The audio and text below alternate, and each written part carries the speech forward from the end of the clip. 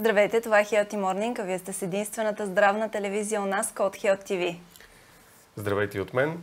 Първият ми гост днес е Емилия Куркотияди, бизнес дама, собственик на бутик за булчински и официални рокли Алфа Брайтс. Това е семейен бизнес, който развива заедно с своя съпруг Янис. Интересно е, че преди това Емилия е била радиоводещ в радиото, основано от нейният баща в родния Пазарджик. Здравейте и добре дошла. Здравейте, благодаря. Здравейте, благодаря, че сте в студиото на Healthy Morning. Как сте? Ами, добре съм. Здрава, както виждате. А, все още не сме минали COVID, а може да сме го минали, но не сме разбрали. Вие или ваши близки не сте се сблъскали до сега Не, с тежките не. симптоми на COVID? Не, не, никой. Да чукам на дърво. И слава Богу. Да.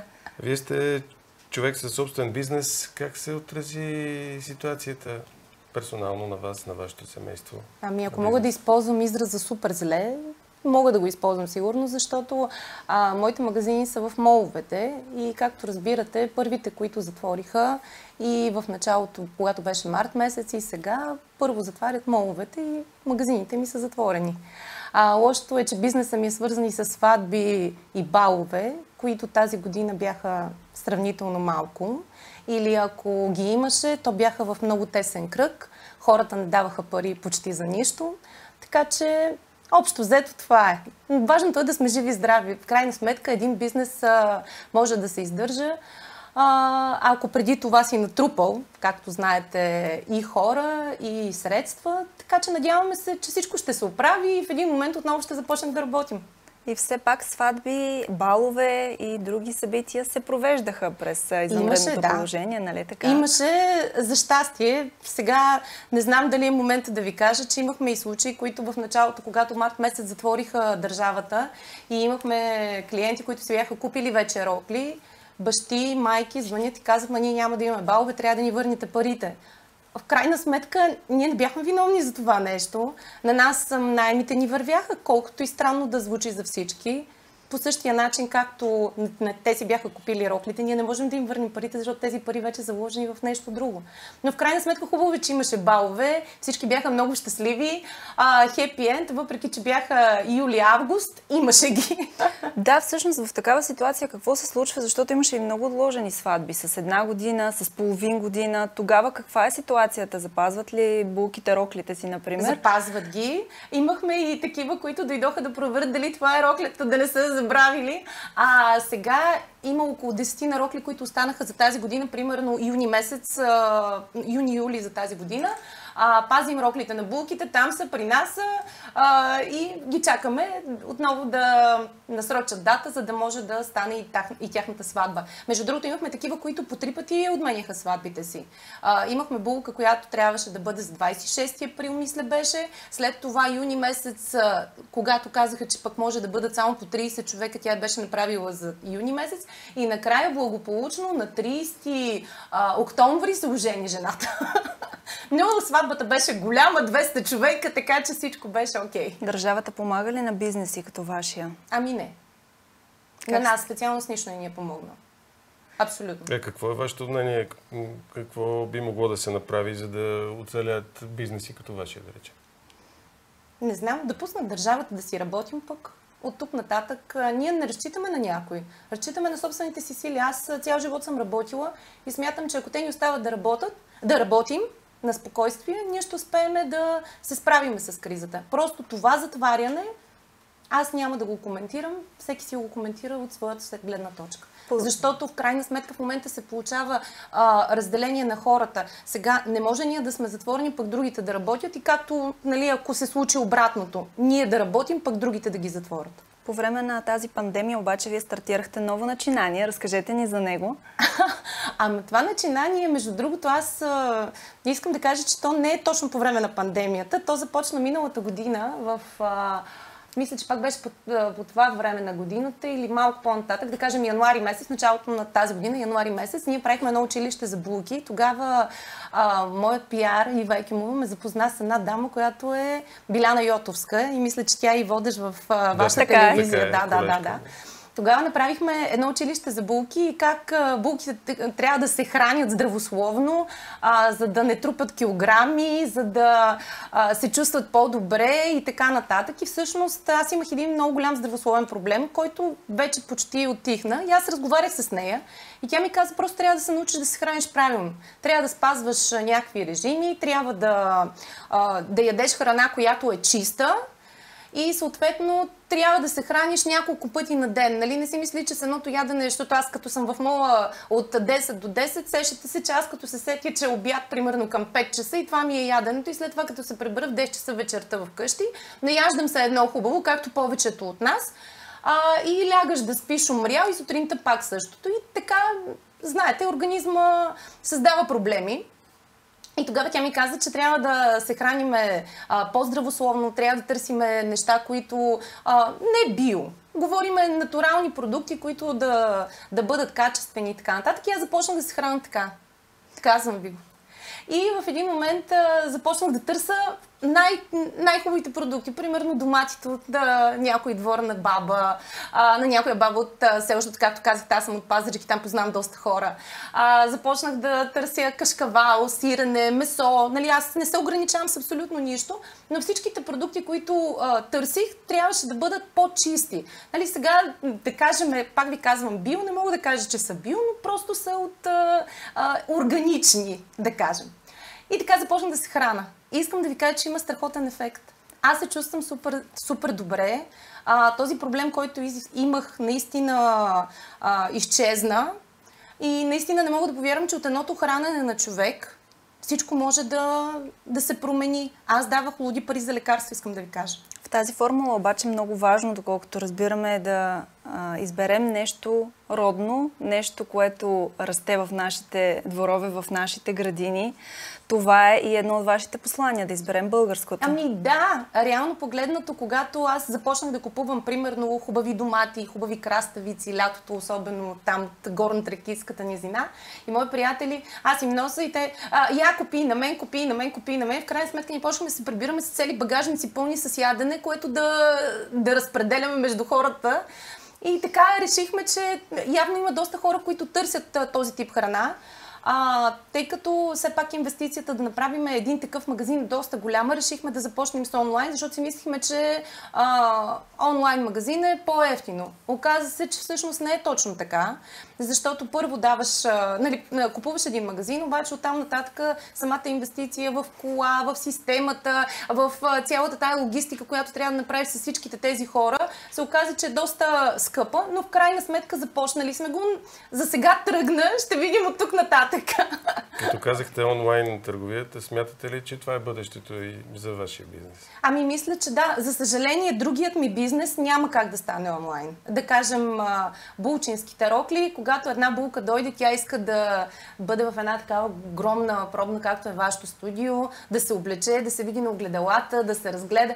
Докато, примерно, ако аз изпратя тази булчинска рокли по някой куриер, тя няма къде да я облече първо, няма как да се види, няма как да й дадеме съветите. Друго е усещането. Смятам, че булчински рокли онлайн не могат да се продават, освен ако не си я мерил някъде и просто искаш да си я купиш. Ще разкажете ли какво сте ни донесли? Да, значи донесла съм ви. Първо искам да ви кажа, че нашите клиенти получават продуктите си по този начин. Не знам дали се вижда на камерата, къде трябва да ги покажа.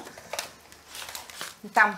Да, тази ето камера. така. Вижте. Да. Така. Всеки продукт искаме да бъде опакован по-отделно, за да няма това а, да, да мишат а, всички неща еднакво, в някакви такива пликчета найлонови. Не ми харесват тези работи. По принцип искам, когато правя нещо, както и в булчинския магазин, така и в тези работи, нещата да бъдат красиви. Тоест ти да получиш един коледен подарък и не само коледен, във всеки един продукт, който взимаш.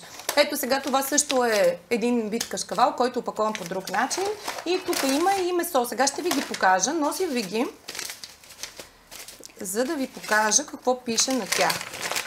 Казвате да не са опаковани с нейлонови турбички. Да. Важно ли е това и за съхранението и за качеството на ами продуктите? Да, да, да, да. Още повече тази хартия е такава рециклирана и тя е направена специално, за да може да Ето вижте, значи аз ви давам, тук може да прочетете какви са съставките. Примерно на този кашкавал, който е цяла година, примерно е зрял.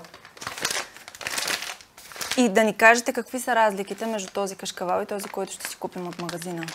По принцип, вие може да го видите, като, отворите кашка... като вземете кашкавала в магазина и там пише, съдържа еди какво си, ет, най-различни други примеси да, и така тук няма нито едно е. Тук единственото, което съдържат продуктите, които ние предлагаме, те са а, съответно млякото, а, дали ще бъде овче или краве, защото само овче краве продукти а, имаме. Съответно закваската и сол в случаите, има в които е необходимо. Да, има само я. това пише. Това да, да, да, отразява ли се на трайността на вашите продукти? Ами по принцип по-малка е трайността. Да, за това ще ви разкажа какво правим ние. Ето сега, примерно, ето тук нещо, което е много подходящо за сезона и особено за мъжката част. Най-вероятно пържоли. Точно, обаче се джуци, да кажем. Ето това нещо, което всеки иска нали, да има на терасата. А, това, е, виждали се, да, да, да. А, ето това нещо, примерно е само с месо вътре. И съответно, а, мисля, че имаше такива натурални подправки, защото, а, ня... примерно, кръвавицата има вътре и прас а, малко сланина има и съответно сол. Нищо друго като съставки. И това нещо са неща, неща които мисля, че са много добри за организма. Другото, което е самата опаковка, вижте, тарелката, не е от тези, които са, има ни такива от стереопор, мисля, че са, да, не съм има. сигурна. Да, това са еко а, тарелки, с които ние първи започнахме да работиме. Една фирма в България започна да ги произвежда и ние сме първите, които започнаха да а, слагат продуктите си в такива тарелки. Съответно, фирмата си, а, беше дори рекламирала продуктите си чрез нас. Въпреки, че сме толкова нови на пазара, нали? Тук на кашкавала виждам, че пише и мястото на производство. Да. На всички продукти ли Абсолютно, го пише? да. На всеки продукт пише къде се произвежда. Повечето продукти се произвеждат горе в планината на високо. А, правят се от, а, в семейни ферми, в а, семейни мандри. А, лично аз за самата мандра се запознах а, с собствениците. Те са Незихай Кемал, мъж и жена а, които спечелват един европейски проект за малка, да, за малка мандра. И съответно аз видях, че всъщност те си правят самите продукти, разбирате ли? И сложили са ги в една стаичка, те си зреят там съответно. Много интересно. А, аз искам да помагаме на такива хора, защото реално погледното, ако отидеш си купиш кашкавала в магазина, а, той, в, той се прави, знаете, в едни големи фабрики и така нататък. Не знаете, нито познавате някой от там, не знаете какво се слага. А, вчера, понеже занесох на една моя приятелка, тя беше купила една такава пилешка кайма и тя ми казва, ма отзад пише, че има а, някак, някакъв субпродукт, пише, че има. И аз си казвам да, защото е написан, защото може и да не го напише. Ако не го напише, ще разбереш ли, че го има? Нали знаете обаче как, когато сме свикнали с вкуса на кашкавала или на месото от магазина, когато са, има всички тези консерванти, за които споменахме да, да. преди малко етата, понякога вкусът на такива по-чисти продукти е странен. Търси ли ги българинът? Ами по принцип, който ги е опитал до сега не сме имали проблеми. Не знам, нали, надявам се нещата да върват. Но а, аз пак ви казвам, а, започвайки да ядете такива продукти, ще видите, че а, в един момент ще почнете да търсите само тях. А чуждопоклонници ли сме по принцип? Как мислите? Търсим ли по-скоро чуждото? Имаме ли доверие на това, което идва отвън, отколкото на народното производство? Като не говорим само за храната, разбира се. Ами, реално погледнато, цената определя в повечето случаи това дали ще купят от нас или ще купят от супермаркета. Това, което идва като чуждо производство е много по-ефтино. Ще ви кажа сега. Значи, когато ние започнахме да взимаме от а, самата ферма, започнахме да взимаме пържолите, които са любими на всички. И аз казах, абе, чакайте малко тук, то свински котлет, където ми го давате, каква е тая цена, нали? Смисъл, аз виждам, че примерно в магазина, в супермаркет, то е примерно на половин цена. Те ми казват, да, така е, защото ела да видиш, снимай си тук парсетата, да видиш тези парсета, как ги отглеждаме, с какво ги храниме. И това, което в момента се предлага на пазара, по принцип всичко е почти турско. И там цената на, на самото свинско е много по-ниска, защото те, за да влязат на нашия пазар, предлагат цена, която е два пъти по-ниска. И ние за това българските производители не могат, вие знаете, и лятото хвърляха домати по улицата, и яйца и така нататък, защото самите продукти при тях са по-скъпи. Много по-лесно е и по-ефтино е да произведеш а, сигурно няколко тона, отколкото да произведеш 10 кг или 100 кг. Вие знаете. Да, така е. Съпругът ви е грък и се предполага, че доста добре познавате нашата съседка като страна. Да.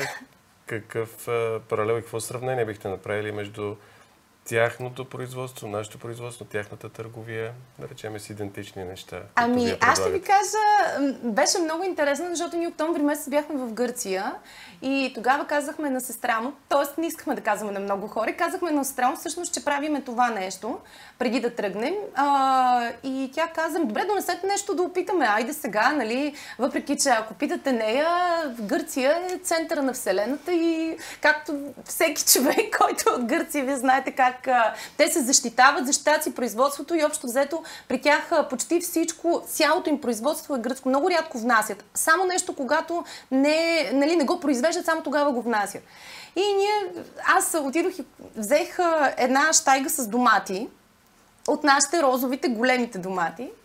И занасяме там и те така с някакво недоверие, сега какви са тия домати тук, а защото те не са в Северна Гърция. Когато говорим за Северна Гърция тук, хората идват, те дори пазаруват тук по нашите, знаете, по примерно там Петрич, Сандански, докато те са много на юг. Това е Патра. А, и да кажем, че тя мисля, че само един единствен път в живота си идва в България. Това е когато беше на кръщенето на Малкия, преди 7 години. Така ние носим от тези домати и така, знай, сега ще направим салат от тези домати, да видим какво представляват. Режеме доматите, реже тя един домат, мъжа и го изяжда. Режи втори домат, може да не е направил салата, ние не сме седнали, той продължава да яде от доматите. И тя казва, той Димитри казва, абе Димитри, престани, нали, аз трябва да направя салат. И той казва, ма те са много вкусни, ти опитай ги, те са сладки. И просто той ядеше доматите, ето така с сол. И в един момент тя каза, а, Ма вие имате много хубави домати в България. Аз казвам, да, не само в Гърция има домати. Все още хората обаче продължават да реагират с очудване, когато опитат някакъв Да. български продукт. Защо е това? Защо Защото не можем да си правим реклама? Продукти. Защото няма български продукти. Няма български продукти. Аз ви казвам, а, дори онзи ден а, ходихме да гледаме за, нали, за краставици. Само една единствена жена в, а, имаше на борсата, която продаваше български краставици. Аз ви казвам, всичко друго е внос от Турция и Гърция. Всичко у нас е вно- внос Да, от Турция и... и- Гърция, но навън аз имам опит в Англия, например, там има български кашкавал, българско сирене. Пише на тях, че опаков... на опаковката, Да, да. че са от България. Защо тогава не успяваме да си направим реклама? Не мога да ви кажа. Наистина, това трябва да питате производителите. Аз просто само ги продавам. Казвам ви, има разлика в цените огромно. Просто не знам как те успяват а, да внесат на такава ниска цена. Ако едни краставици на борсата в момента са 2 лева на едро цената, българските, а в момента има и турски краставици на 1 лев. Ако вие отидете, ще купите тези от 1 лев, няма да купите тези от 2. Вървим към, за съжаление, към края на нашия разговор. Да ви попитам, според вас обстановката като цяло направи ли ни по-добри? Не знам, по-скоро ми озлоби. Искам да ви кажа, защото видях, виждам постове във Фейсбук, хората се разделят едни на други. Пак ви казвам това озлобяване, защо аз няма пък другия ще. Не знам, не ни направи по-добри, напротив. Вашето, Това е моето лично мнение. вашето виждане за бъдещето и дори да е положително нещо позитивно към нашите О, аз съм зрители? супер позитивна. Аз ви казах, аз съм затворена от толкова време. Значи всичко ще се оправи. А, така казват астролозите.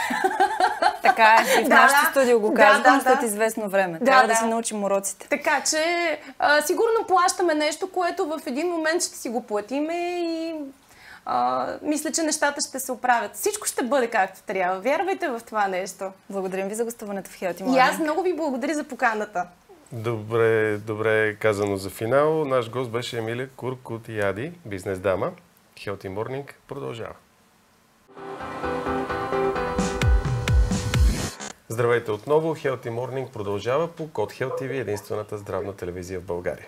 В следващите минути ще ви срещнем онлайн с Иляна Дадарова. Тя е маркетинг експерт и блогър с сериозен здравословен проблем, за съжаление, изкривяване на гръбначния стълб. За всичко това ще ни разкаже тя в следващите минути. Здравей! Здравейте. Здравейте. Приятно ми е. Как сте в тази обстановка, в ситуация на пандемия? Ами бих казала доста по-добре от повечето хора. Опитвам се да запазя позитивен атитюд, така да се каже. Работи се вкъщи. Занимавам се с всичко, което не ми е оставало време да се занимавам преди това. Трудна ли е за вас цялата тази обстановка в момента? Ме бих казала, че става все по-трудна. Тъкмо днес размишлявах на тази тема, защо всички около мен се чувстват толкова потиснати. И стигнах до заключението, че това е защото сме ограбени, така да се каже, от нормалните си дейности, от нормалните си развлечения. И всъщност се фокусираме върху еднообразно ежедневие. И започва да, започва да натежава. Казвате ограбени от към комуникация. Как стоят нещата от вашата гледна точка? Липсва ни комуникацията, но може ли, например, онлайн на социалните мрежи да компенсират това?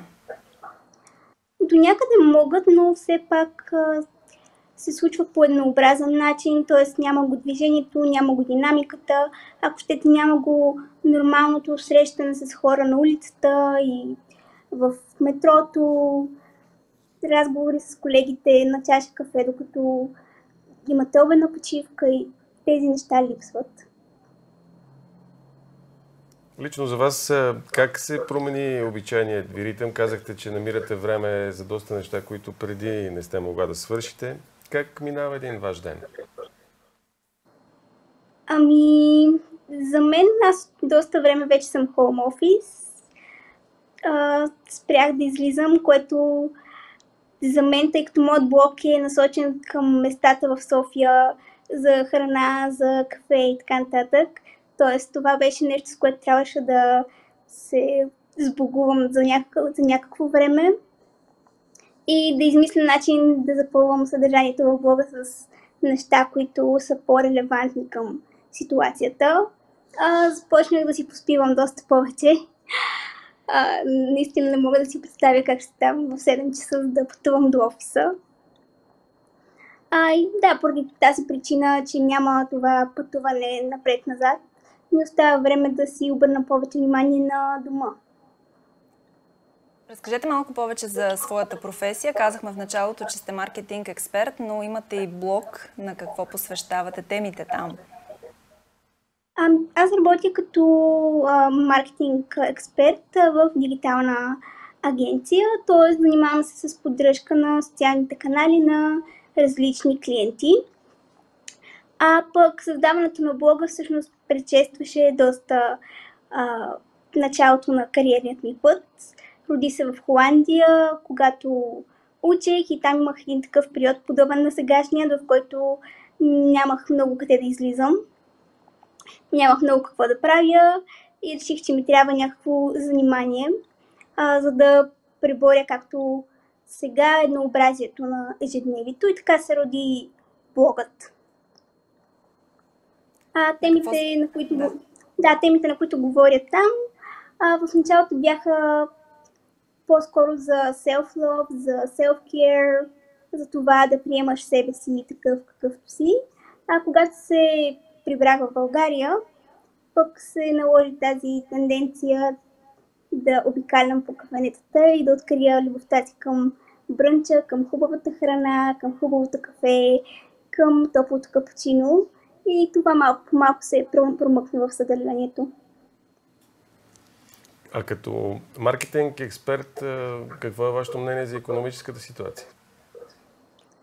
Ами, поради някаква причина, която аз лично не разбирам, веднага, щом се случи нещо в световен нещо като пандемията, първото нещо, което компаниите правят е да отрежат своят маркетинг бюджет, което аз не го разбирам, защото особено когато ти е трудно да комуникираш с хората face-to-face. За мен е логично да инвестираш повече в реклама, за да го достигаш през други канали, като онлайн а, каналите. Та бих, да, бих казала, че за много, за много брандове това е голям, голям, голям предизвикателство, а, но пък доведе до адаптация на пазара. Тоест, хората, които са по-адаптивни, успяха да избутат, да, да се справят с това предизвикателство, да го превърнат в opportunity а тези, които не успяха, за съжаление, не, не се справят толкова добре. Смятат, смятате ли, че и след а, пандемията в а, онлайн търговията е бъдещето? Ами да, определено смятам, че това е тенденцията, в която ще се развива пазара. А дали ефектите, за които говорите върху маркетинга, върху рекламата, ще бъдат трайни или след края на пандемията ще отшумят, тъй като ние видяхме едно успокоение на ситуацията през лятото тази година? Ами надявам се, че а, ще се успокои генерално обстановката. А, не мога да, коментирам какъв е по-дългосрочният ефект, честно казано. Вие имате здравословен проблем. Смятате ли, че за хора като вас, които имат същите грижи, е осигурена адекватна среда и условия за живот по време на настоящата ситуация? Ами, по-скоро бих казала, че не са осигурени независимо от ситуацията.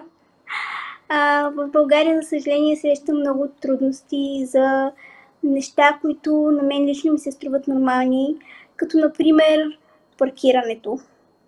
А, аз имам зелен, т.е. не зелен син стикер, който би трябвало според мен да ти позволява да спираш навсякъде.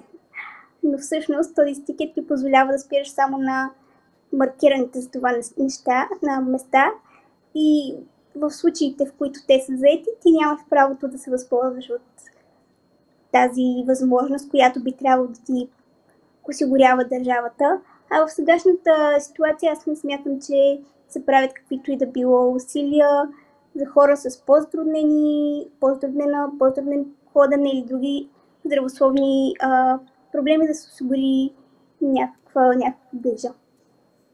Какви са промените, върху които според вас трябва да акцентират институциите, за да се подобри това положение? Според мен е нужно, нужно разбиране на нуждите на хората с по-различно. Да, нужно е разбиране на нуждите на хората, които имат някакъв различен проблем и които имат различни предизвикателства в своето ежедневие. Както казах, пакирането е един пример. Аз много път съм се опитвала да повдигна този въпрос пред различни институции, но никога не съм получавала адекватен отговор. Дори ми се е случвало да, получа скоб, да, имам, да имам скоба и да получа глоба за това, че съм паркирала на място, което е маркирано като а, инвалидно, но всъщност е махнат а, знака. И аз естествено не съм забелязала, че няма знак. И ми се каза, че това е а, било, по закон било така, че трябва да има и двете неща. И не могат да те компенсират за тази глоба.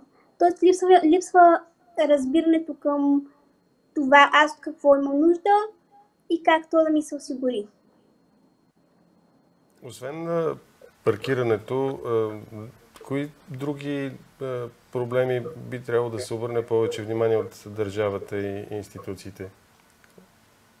Ами според мен това, това, е, това, е, това е въпрос, на който всеки човек с, различна, с различен проблем би имал различен отговор, тъй като, както казах, всеки си има свое различно предизвикателство. Аз говоря много за паркирането, просто защото за мен това беше един основен проблем през изминалите години. А какво друго? Според мен да кажем и парите, които се получават като помощи също са смешни и недостатъчни Казахте, че често срещате неразбиране от страна както на институциите, така и на хората. Срещате ли такова неразбиране и в околните? Сблъсквали ли сте се с отношението на хора, което е като към различен? Ами, по-скоро всъщност бих, бих да кажа, че това неразбиране не е лично към, към мен. А,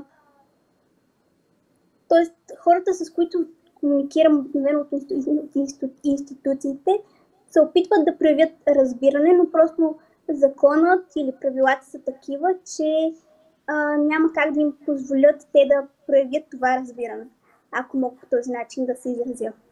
Тоест, те колкото и да искат да ми помогнат за нещо, няма как да го направят, просто защото правилата не им го позволяват. А от страна на хората, с, с които съм заобиколена, всъщност много рядко а, получавам неразбиране. Съветът ми обикновено е, защото много, много често се случва така, че хората се чувстват притеснени от това как да подходят към теб, как да, как, как да ти помогнат, с какво да ти помогнат, дали пък ако, ако тръгнат да ти помагат, няма да се обидиш. А, тоест, винаги съветът ми е да се поставиш в ситуацията на човека, срещу който си. Преди време в студиото ни гостува Петър Кичашки, който е член на Комисията за защита от дискриминация. Той каза нещо много интересно, че по принцип хората с увреждания, с здравословни осложнения, са сякаш в пандемия цял живот. Такова ли е вашето усещане? Вие все пак казахте, че ходите на работа, работите през цялото време в момента от вкъщи, но по принцип не. Ами, не, при мен този, тази ситуация изобщо не бих казала, че е така. А, имам доста нормално ежедневие, спрямо, като нормално го слагам в кавички, спрямо нормалното ежедневие на хората без такъв проблем. А, да, не, знам, не бих казала, че е точно така, специално за мен. Но пък другото нещо, което забелязвам е, че в България, да кажем в маркетинг средите, не съм срещала много хора с очевидни проблеми, което пък може би потвърждава тази теза. Може би съм изключение на, на правилото. В тази пандемична обстановка, вие лично успявате ли всички прегледи, рехабилитации или необходимите ви медицински грижи да получавате? Ами аз не, не, не ходя на рехабилитация и на редовни прегледи, а, но според мен това би затруднило, ситуацията би, би затруднила а, тези нужди, ако ги имах и ако ги изпълнявах. Вие уточнихте в предварителния ни разговор, че не става въпрос за церебрална парализа, изкривяване на гръбначния стълб, както пояснихме и в началото на разговора. Да. Можете ли да ни обясните точно какъв е вашият здравословен проблем и от какво се е породил той? Да, аз съм родена малко по, по-рано от необходимото. Родена съм преждевременно. А, и с много малка липсваща част от един от преследите, което в последствие довежда до изкривяване на, на гръбначния стълб. И когато бях на 4 години, ако не се лъжа, ми беше направена операция, за да се стабилизира гръбначният стълб и да може да расте нормално. Обаче тогава докторите не бяха преценили, че когато растеш, а, гръбнакът ти расте с теб. Нали? И всъщност тази пластина започна да пречи, отколкото да помага. И се наложи да ми се направи втора операция, да се смени пластината, която операция, за жалост, не беше а, особено успешна. Така и, всъщност така и не получихме конкретен отговор какво точно се е случило, но влязох в операционната на два крака и влязох в количка. Какво идва след това? Вие казвате, че в момента не ходите на рехабилитация, но след а, операцията, след тази грешка, която очевидно е била допусната, какво следваше за вас? Имаше ли достатъчно адекватна грижа, помощ от страна на ами... лекарското съсловие на институциите на държавата? Ами не, не бих казала, тъй като още от самото начало дори не получихме конкретен отговор какво се е случило, за да може да се вземат адекватни действия за решаването на този проблем. А, тогава доцентът а, каза, че съм получила шок на гръбнака, който ще отшуми. А, мисля, че ни предписаха някаква рехабилитация и това беше, но не положиха някакво усилие да решат грешката, която са допуснали. А в последствие пък много, много доктори не проявяваха смелостта да вземат някакво решение, тъй като не се знае какво се е случило и не се знае примахването на тази пластина дали ще доведе до нещо хубаво или ще доведе до нещо по-лошо. А, и голяма част от нещата, които сме правили под формата на рехабилитация, на санаториуми, лекарства, тъй като се налагаше тогава да пиели лекарства за отпускане на мускулите, за да не получавам спазми. А, всичко това е било спонсорено от нашия джоб. Получихте ли, Взето... потърсихте ли медицинска помощ навън, в чужбина? А, пускала съм документи в Германия, а, но така и не стигнах до момента, в който да, да се реша да взема тази стъпка. А, основната причина е точно това, че бих казала страх от това дали нещата ще се подобрят или ще се влушат, тъй като за повече от мисля, че вече 10 години съм минали от този момент, съм свикнала с това, което е и не се чувствам готова да рискувам то да се щупи още повече. Отиваме към финала на нашия разговор и в тази връзка вие като блогър какво бихте пожелали, какво бихте написала и популяризирала за хората, за предстоящите празници, за началото и за следващата година?